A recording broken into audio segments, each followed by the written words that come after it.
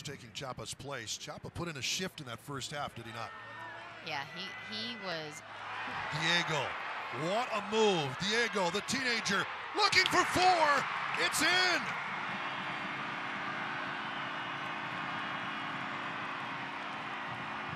Take a bow, young man. 4 0 locomotive. Beautiful action again. Mobi Fehr up and over. Bit of a sombrero move and rolls one through. And Dallas Jaye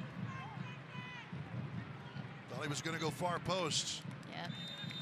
He just drives that ball.